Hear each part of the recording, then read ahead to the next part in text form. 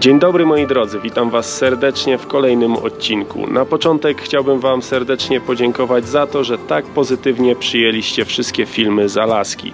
Dzisiejszy odcinek chciałbym zacząć troszeczkę inaczej niż normalnie. Pierwsza połowa filmu będzie to prawdziwa uczta dla miłośników pięknych widoków i ujęć z drona, po to, żebyście mogli zobaczyć i lepiej doświadczyć trasę, którą odbyliśmy na Alasce. Jeżeli nie jesteście tym zainteresowani, możecie spokojnie przeskoczyć do jednego z czasów podanych w lewym rogu tego filmu. A dla tych, którzy zostają, życzę miłego oglądania i widzimy się za chwilę.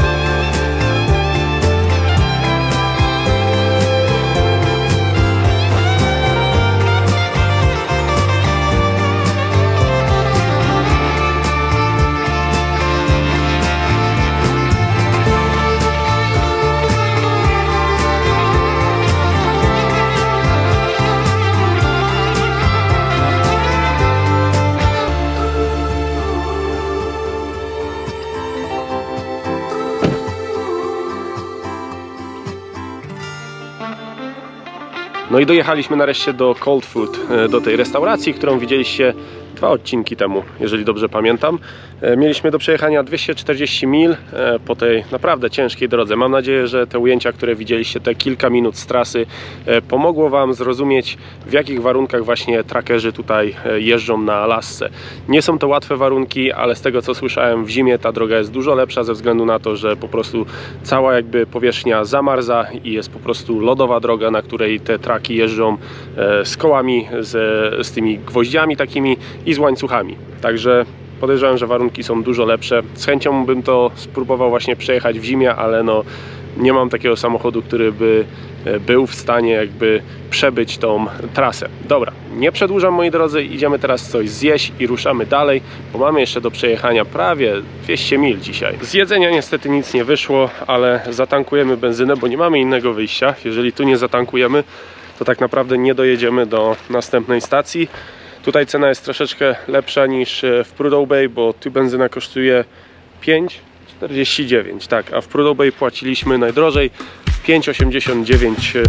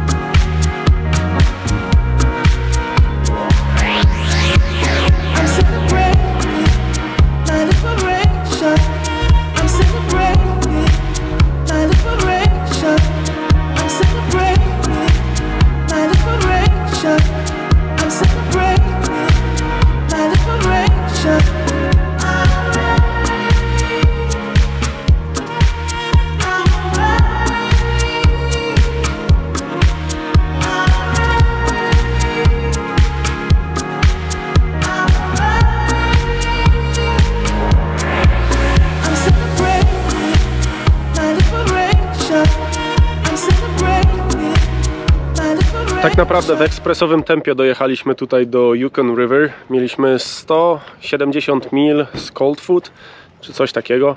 E, No bardzo szybko nam to poszło. Jechałem przepisowo oczywiście 50, tak jak widzieliście na nagraniach. E, Idziemy, zobaczymy co tutaj mają w sklepie i mamy jeszcze około 100, może 80 mil do tego, żeby właśnie dojechać do naszego campsite'u. Moi drodzy, słuchajcie, o co chodzi, że jesteśmy w drugim miejscu na Alasce i jest znak po polsku proszę nie wchodzić do kuchni. Polacy tu byli. I co tu jest jeszcze? My też tu byliśmy. Brydzia plus Krzyś. 7, 28, 21. No mamy ewi- ewidentnie problem z wchodzeniem do miejsc, w których nie powinniśmy być. Taki zwykły dinerek przy drodze, przy rzece Yukon. Zobaczcie sobie, tak to wygląda. Zatrzymaliśmy się tak o po prostu, żeby zobaczyć co tutaj jest, kupić jakieś chipsy na drogę. A i zobaczcie, tutaj jest zaznaczone, w którym miejscu na Alasce jesteśmy. Dokładnie tutaj. A dzisiaj rano zaczęliśmy naszą podróż tu na samej górze. Zobaczcie, przejechaliśmy całą tą autostradę właśnie Delton Highway. I tutaj już niedaleko jest, nie, sorry, tutaj jest niedaleko skrzyżowanie. Byliśmy właśnie wcześniej w Minto i jak się ta druga miejscowość nazywa? Manly Hot Springs, właśnie tu w tym miejscu. I dzisiaj dojedziemy właśnie gdzieś tutaj. Ten odcinek od Yukon River do Fairbanks jest najgorszy. Jest najwięcej gór, dziur i po prostu pęknięć w tej autostradzie.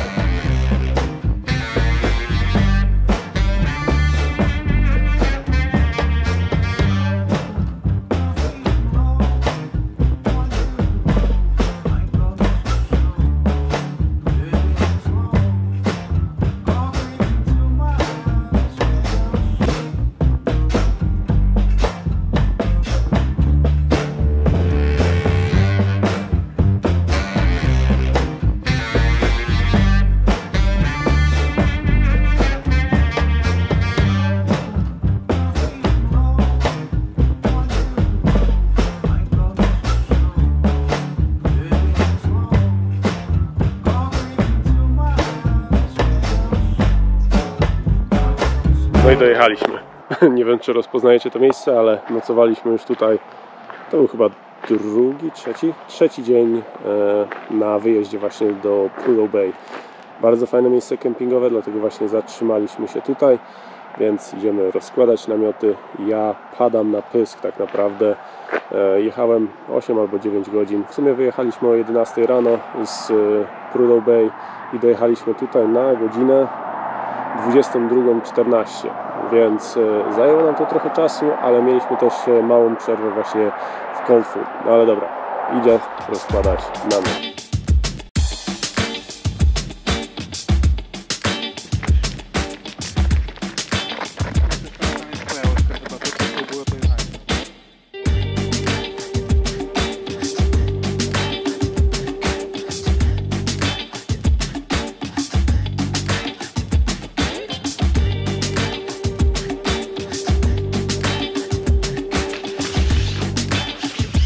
Jak na razie to namiot się spisuje idealnie na tym wyjeździe, tylko jedyny problem jest taki, że co rano niestety trzeba go wycierać od środka, ten tropik, bo jest całkowicie mokry, więc to jest trochę taka słaba opcja z tym namiotem. A tak poza tym duży plus.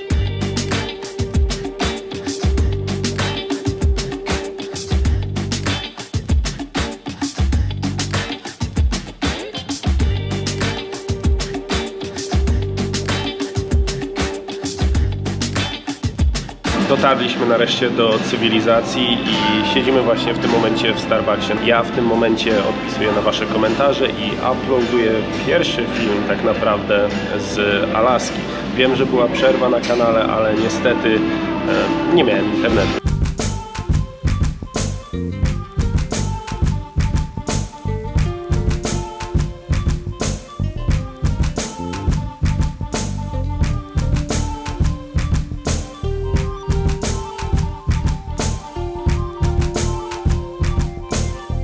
Przyjechaliśmy na downtown tutaj w Fairbanks. Może nawet nie nazywałbym to downtownem, czyli centrum miasta. E, Parę budynków, kilka restauracji, kilka barów. Niestety jest niedziela i większość najlepszych restauracji jest pozamykana. I zostaje nam jeden wybór tutaj, takie miejsce z naleśnikami i z drinkami. Idziemy, zobaczymy jak to smakuje i co mają w ogóle do zaoferowania. Pełno różnych takich naleśników właśnie z kurczakiem, z bekonem. Tam są jeszcze słodkie. Tutaj właśnie pani wydaje jakieś. Możecie zobaczyć duże takie naleśniki. Bardzo fajnie to wygląda. Ja już chyba wybrałem. Wezmę tego z łososiem i z kurczakiem, bo jeszcze śniadania nie jadłem.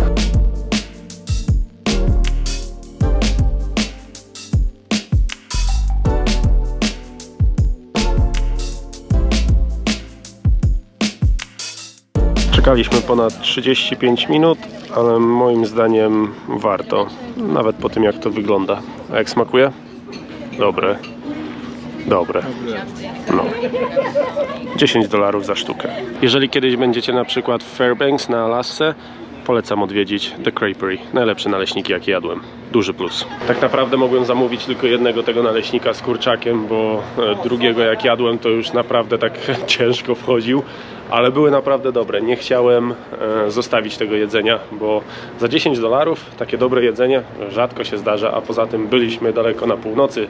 Tam restauracje były dosyć słabe, więc dobrze zjeść coś dobrego. Powiem Wam, że to jest tak naprawdę najlepszy gift shop, w jakim byliśmy, jeżeli chodzi o jakość pamiątek. Mają bardzo fajne magnesy, bardzo ładne pocztówki, naklejki i ogólnie takich e, różnych pamiątek jest bardzo dużo. Nie ma takiej tandety jak normalnie jest w tych gift shopach.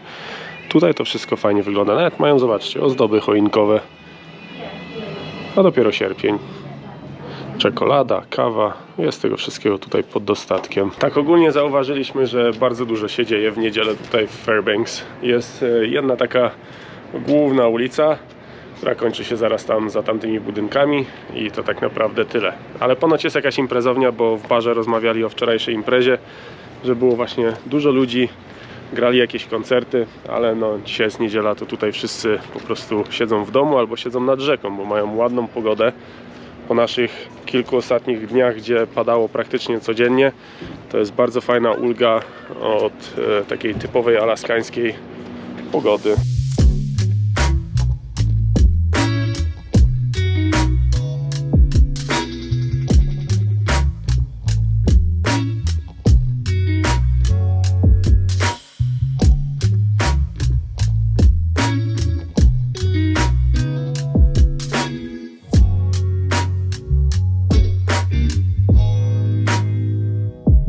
Tak jak zobaczycie za mną tam jest fontanna i przy fontannie jest napisana historia tutaj Fairbanks i według tego co tam jest napisane, no to już dwukrotnie ludzie po prostu opuścili to miasto. Pierwszy raz to było w 1917, kiedy e, skończono budowę kolei, potem znowu ludzie się sprowadzili na budowę tego rurociągu i po ukończeniu tego odcinka przy Fairbanks znowu się wyprowadzili, więc pewnie dlatego miasto trochę świeci pustkami.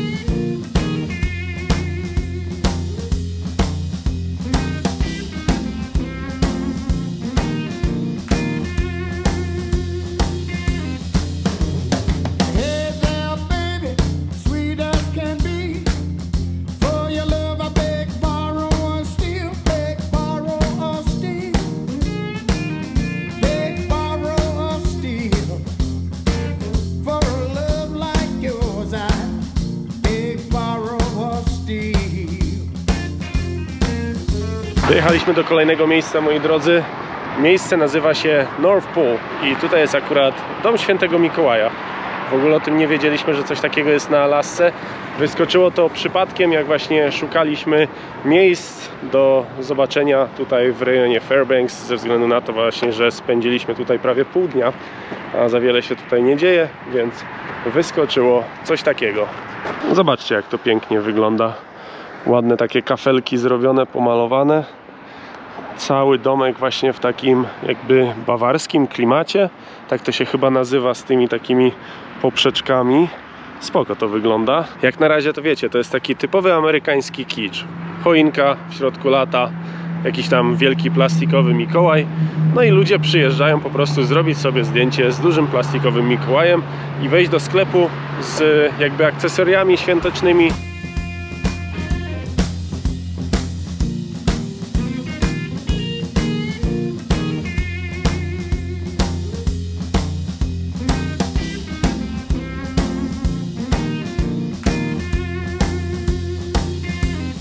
Dobra, wiecie co, zmieniam zdanie. Aż mi się zachciało po prostu świąt. Spakować jakieś prezenty, ubrać choinkę. Fajny taki sklep.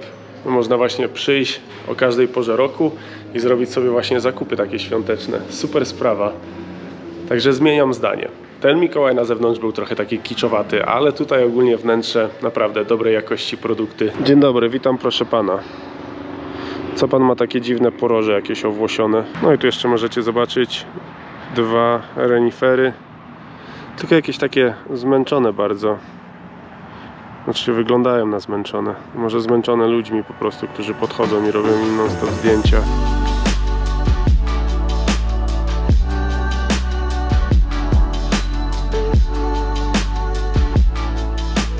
Już w sumie wyszliśmy z tych hot springsów. Nie brałem ze sobą kamery, żeby tam ludzi nie nagrywać, ale pokażę wam z zewnątrz jak to wygląda, żebyście po prostu zobaczyli. To jest coś innego niż to, do czego jestem przyzwyczajony, bo u mnie to wiecie, są takie na maksa naturalne te hot springsy, a tutaj to jest wszystko właśnie takie trochę komercyjne, ale zobaczcie, jest jedno takie źródło wulkaniczne tutaj za mną i z takich źródeł właśnie woda jest pompowana do tego głównego basenu. No i tak jak widzicie, to jest taki sztuczny basen zrobiony, obłożony kamieniami.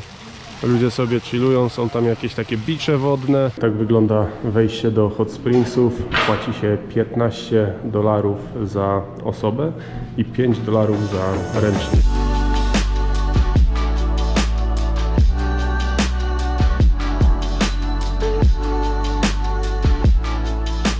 Tam jest jeszcze jacuzzi i wewnętrzny basen.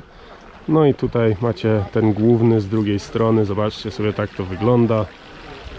Nawet spoko. Woda na maksa gorąca.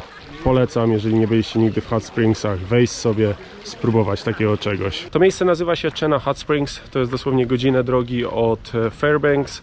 Po drodze właśnie tutaj zajechaliśmy jeszcze na tą małą taką mieścinę North Pole, gdzie był dom Mikołaja, więc ogólnie w samym Fairbanks nie ma za dużo do roboty, ale tutaj w tym rejonie jest naprawdę co robić, bo możecie pojechać w góry, możecie pojechać sobie na rafting, na ryby, popływać łódką, wypłynąć na jakiś taki, wiecie, rzeczny cruise i pozwiedzać sobie właśnie te doliny wszystkie tutaj, więc atrakcji jakby takich w naturze jest bardzo dużo. No i macie jeszcze do tego właśnie te hot springsy tutaj, które są połączone z hotelem, bardzo fajną restauracją, do której mam nadzieję, że uda nam się jeszcze właśnie wejść. Jak wrażenia? Zajebiście. Tak? zrelaksowani. Pierwszy raz w Hot Springsach, tak? Tak. No. Chociaż, kurde, no szkoda, że nie byliśmy w tych takich naturalnych, Dzikich. wiesz. Tak, byłoby dużo było lepiej. troszeczkę elektroniki, jakieś pompy, nie pompy. Znając życie, to w ogóle nie były hot springsy, tylko trochę siary tam dorzucili, grzewali na bieżąco. Tak, USA. tak. USA. A teraz zmierzamy właśnie do restauracji. Zobaczymy, co tutaj mają ciekawego do jedzenia.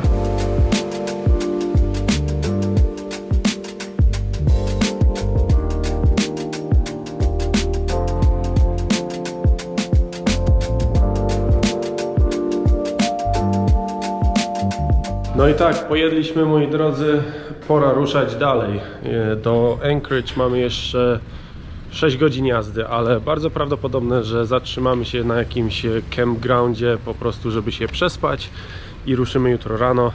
Będziemy musieli posprzątać, umyć ten samochód, bo tam jest naprawdę niezły Meksyk. I co potem? No i potem tylko na lotnisko, samolot i wracam do Rino. No i tak moi drodzy, kolejna noc za nami. Jesteśmy w tym momencie w miejscowości, która ma bardzo fajną nazwę, bo nazywa się Nana na na. Taka ciekawa nazwa. Zaraz obok tego znajduje się kolejna miejscowość, która nazywa się Tana na na na. Takie wiecie, pewnie indiańskie jeszcze nazwy, ale jest to nasz ostatni kemping i dogadaliśmy się właśnie tutaj z właścicielką tego kempingu, że zostawimy rzeczy, które nam po prostu zostały jeszcze z tego wyjazdu, czyli e, na przykład zbiornik gazu, którego w ogóle nie użyliśmy, e, jeden namiot, śpiwory zostawiamy i mamy jeszcze cały pojemnik e, owsianek, więc no, jeżeli to chcą, no to sobie to wezmą. Powiedziała, żeby zostawić wszystko, czego nie potrzebujemy, że na pewno to tutaj wykorzystają na tym polu kempingowym. No ale tak jak widzicie, niestety pada deszcz. Przywitał nas z samego rana. Mi się akurat jeszcze udało złożyć e, śpiwór przed e, tym deszczem.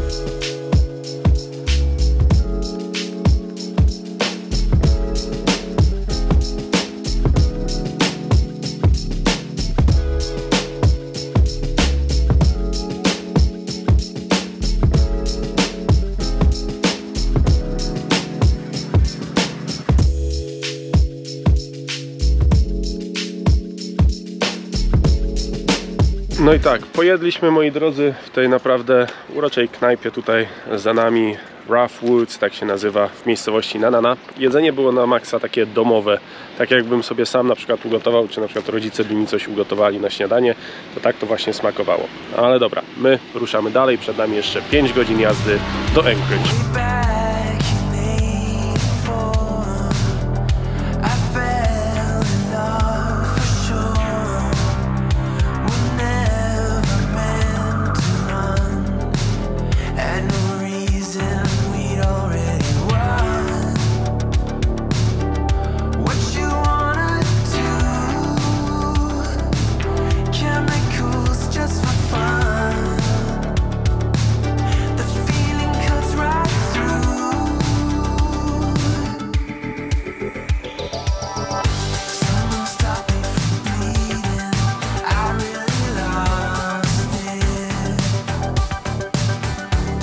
Ostatnia rzecz, jaka nam została, to wysprzątać tego Forerunnera. Przejechaliśmy już przez Myjkę, jesteśmy w Anchorage.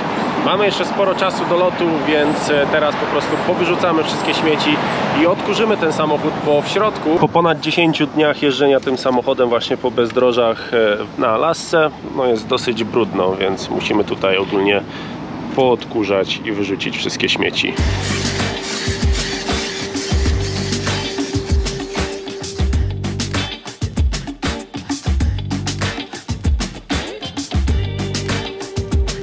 Powoli działamy moi drodzy. Ja już wszystko wepchnąłem do siebie do torby.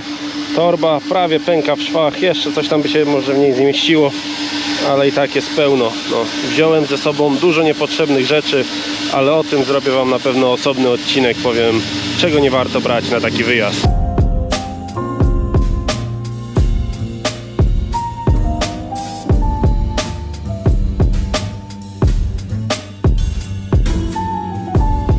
Słuchajcie, wiem, że te Forerunnery nie są za bardzo popularne w Europie, ale muszę Wam powiedzieć jedną rzecz.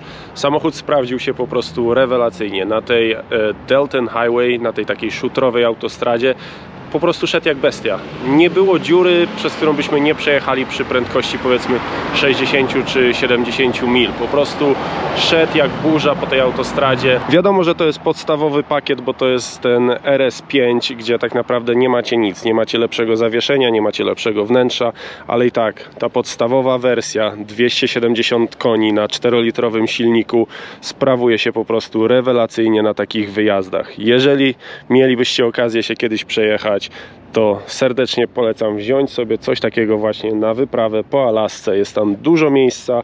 Samochód ma w miarę dobre spalanie około 18 do 20 mil na galonie na takiej autostradzie, więc naprawdę nie mam się tutaj do czego przyczepić. Jeżeli to byłaby na przykład ta bogatsza wersja, gdzie macie to sportowe zawieszenie, czy na przykład TRD Pro, no to wiadomo, że ten samochód prowadziłby się po prostu jak masełko po tych dziurach, ale i tak, moim zdaniem Forerunner na tym wyjeździe spisał się po prostu na piątkę z plusem. Mamy pizzę, ostatni posiłek tak naprawdę w Anchorage przed wyjazdem.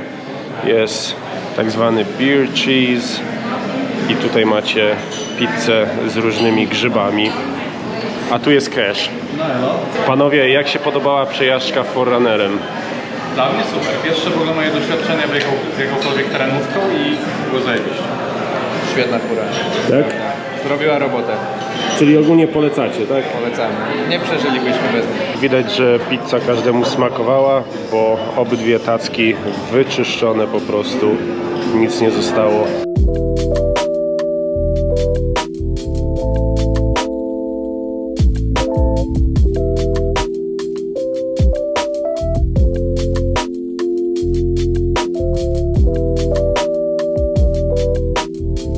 Po 10 dniach, moi drodzy, przyszedł czas na to, żeby pożegnać się z Forerunnerem. Była naprawdę wspaniała przygoda. Spisał się jak najbardziej. Trzeba powiedzieć do widzenia, oddać go do Enterprise'a i zmierzać na lotnisko.